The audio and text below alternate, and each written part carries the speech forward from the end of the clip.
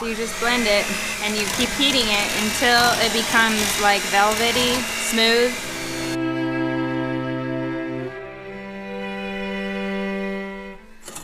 All right, for this um, homemade queso, you can use um, whole milk, but if you're like me, it's nice to save the cream for ice cream and coffee cream or to make butter with. And I think that the um, the queso turns out just as good without all the heavy cream. So I skim all the heavy cream from my milk, and this is my favorite way to skim. I just use a measuring cup um, and wait till the milk. I don't know if you can see that in the video. Let's see the cream line, so you can see the cream line. Oh, there, maybe you can see it when when I skim it, so you can see. That's some heavy cream. And um, you could put that in the cheese. Won't hurt anything. It'll just make it more rich. If you're doing like a, if you're doing a trim healthy mama, um, you know, eating plan, you skim the cream and it becomes skim milk. Then you're kind of making like a, a skim milk cheese, kind of like um, like a no fat, and you can be used as an in an E setting for uh, the carb a carb meal and it's kind of like um, the laughing cow cheese. Anyway, and if you don't have um, good raw milk, you can use store milk for this, and it would be worth doing. You know, if you can get some good quality, um, you know, organic whole milk, it would make really good cheese too, and it would make it into a um, more nutritious uh, food because you're going to be culturing it and. I'm going to pour all these in here and I'm going to heat the milk up to 86 degrees. And I'm using such a big pot that I don't use a double boiler. I actually am putting this directly on the stove because this is a humongous pot. Um, anyways, but typically if I was doing like a four gallon amount, I have like a double um, thing where I have the pot in here and I would put water in here and do a double boiler kind of thing. But anyway, this works okay. You just have to watch it carefully and make sure your temperature doesn't get too high. Make sure you don't ever scorch the bottom. So you got to do a little bit more stirring and be a little more aware um, to not burn your milk. All right, for the starter, I use a mesophilic type 2. And for one gallon of milk, you need one eighth of a teaspoon. And one eighth of a teaspoon is called a dash. This is called a direct set starter. And it's not very expensive. It's a great thing to have in the freezer. It'll last you several years in the freezer.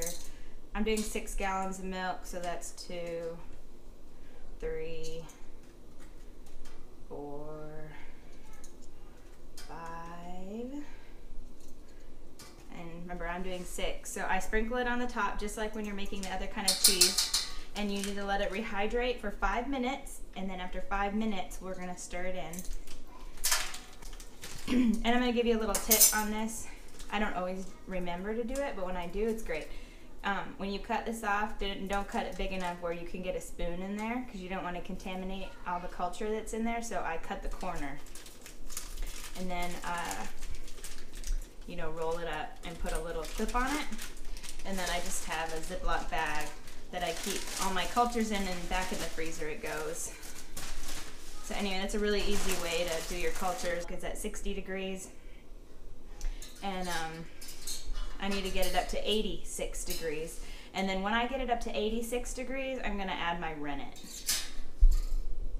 All right, the technique to stir milk is the same as it is with uh, any cheese making. There's two methods. One method is going up and down. If you have a slotted spoon like this, you just go down and up, down and up, and you just, you know, do that like 20 times.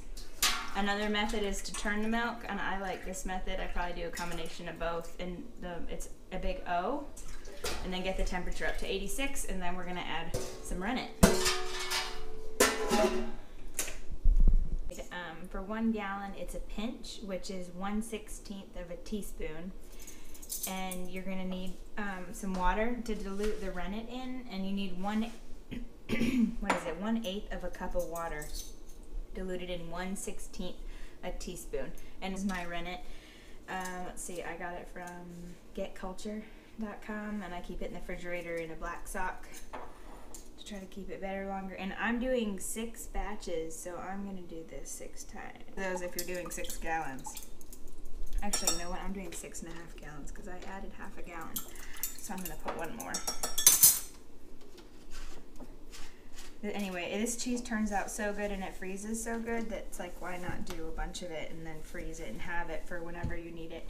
So this goes back into my refrigerator um, way in the back. And when you dilute the rennet uh, in the in water like this before you use it, you need to dilute it right before you use it. So don't go and get it ready, you know, an hour before you use it. You need to mix it and put it in the water.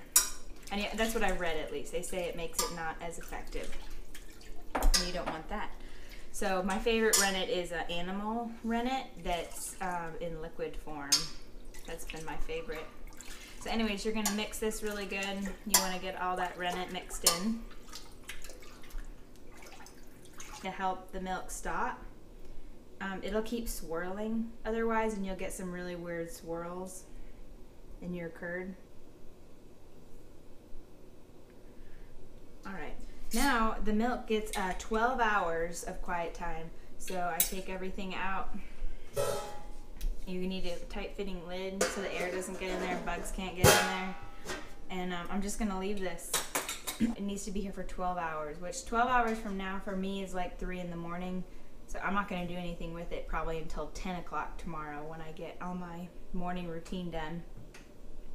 Um, but anyways, um, you need to let this sit for 12 hours and then we'll be ready for the next step. Alright, it's the next morning. I'm going to show you what this should look like. The whey on top, I don't know if you can see that. The whey is like green, greenish. And then there's a big tub underneath and it did, it formed a really nice curd. So that's what the curd looks like. And it came away from the side of the pot. It, it like shrunk and went down about an inch. Anyway, that's a really good curd. So that's um, that's exactly what it should look like. And then um, if you have less milk, this will be a lot easier. But I have so much milk, and this is so heavy that I don't actually lift this up and pour it because it'll go everywhere, all over the floor and everything. So um, my system is I have a big colander here. It's pretty big. Um, I don't know how many quarts that is. And then I have a big uh, five gallon bucket and I've put um, one of these fancy tops on it so I can um, take the whey out to my pigs or chickens or whatever you want to feed. But I feed it to my pigs and I like it because it has a rubber gasket so I can put it on there and turn it. Anyway, I take this and then this is a pillowcase that I use only for cheese making. It's a just a old cotton pillowcase and I've it's been washed and when I wash it I wash it separate and I bleach it a little bit with a little bit of bleach and I turn it inside out. So the cheese goes in the see the the lines are on the so anyway cheese curds can't get stuck in there. And then I just uh, move this out till I move it till there's like one layer you know on the bottom. And then my system is to just take a pot kitchen pot that I've washed well and I scoop up whey and curds. And I just start uh, ladling ladling it into the into my colander down here. And once I do enough and it starts getting um, not so heavy then I'll pour the rest. But right now that's like super heavy. I think one gallon of milk is like eight pounds. And I have six and a half gallons in here. So that's it's a lot of weight. It's also a sloppy mess. So it's easier to do it this way.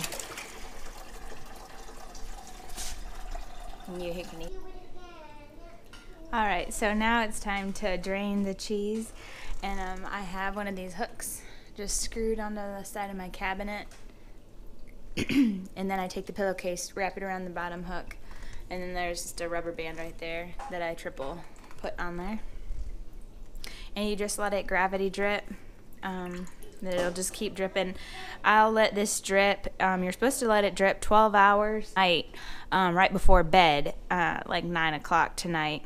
Um, I'll take this uh, off and have it stop dripping, and I'll probably just take this whole thing and put it in the refrigerator um, to get cold and it'll kind of slow down the fermentation. and the you know it won't be dripping anymore because it won't be hanging. Uh, and then tomorrow is when I'll do the next step. Um, but I won't do the next step tonight because it's just too late at nine o'clock at night.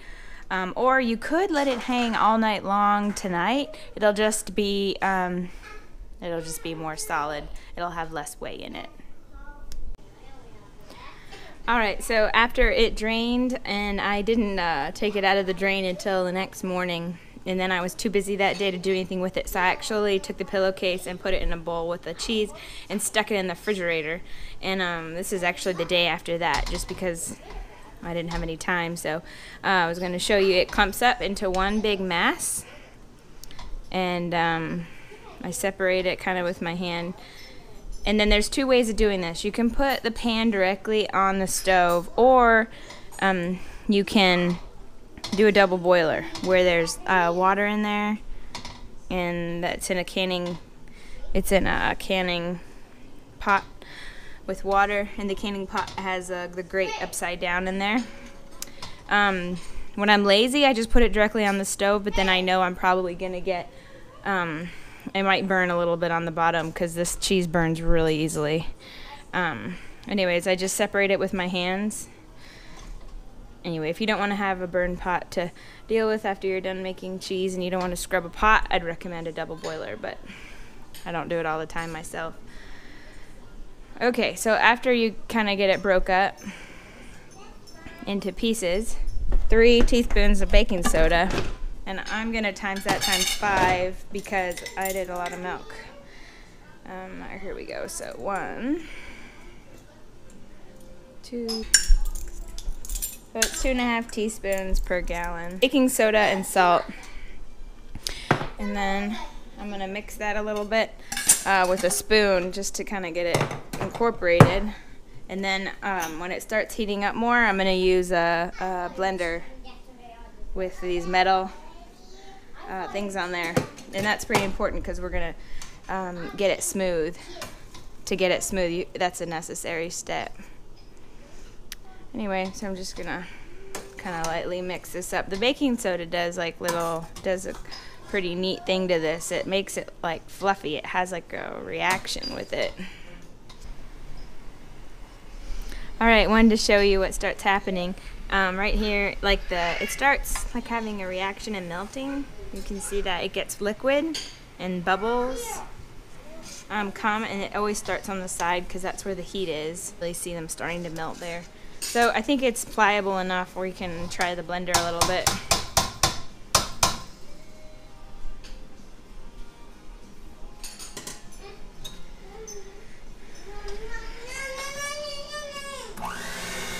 Anyway, you're just gonna um, mix it and you're pretty much gonna do this until it gets smooth.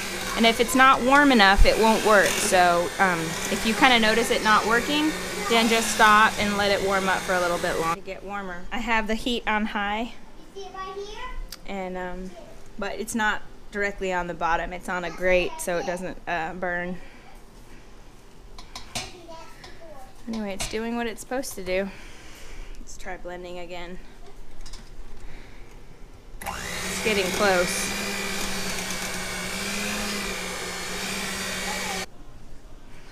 Alright, wanted to show you what happens. It's starting to get smooth. It takes a little bit. There's still some clumps in here. It's getting um, it's getting smooth. So you just blend it and you keep heating it until it becomes like velvety, smooth.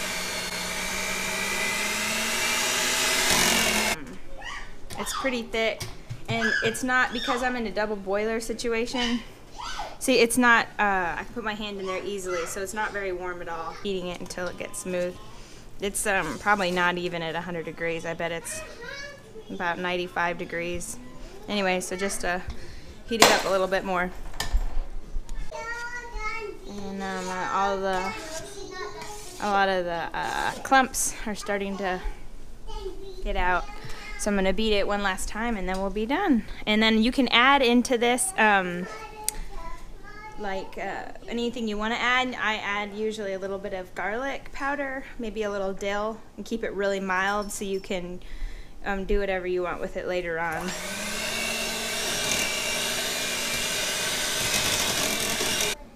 All right, this step's optional. The cheese tastes so good by itself with just the salt. That's just a good basic, um, you know, cheese uh, like a queso, you know, a plain queso, and that's just delicious. But if you want to add a little bit of love to it, um, my favorite seasonings are just a little bit of garlic powder, onion powder, and dill weed, but not too much because you can you don't want to overpower it. It just kind of gives it a. Huh? Who are you? Are you Anna? And then onion, and then a little bit of dill, and this is kind of just to taste to what uh, you like for your family. You can also add a little bit of cayenne if you if your family's into um, a little bit of spice. But having a good basic like this is great because you can later on, this is really thick, so later on you can add a little bit of salsa and, you know, make it into a queso with um, some salsa. Need any help? I'm Isabel.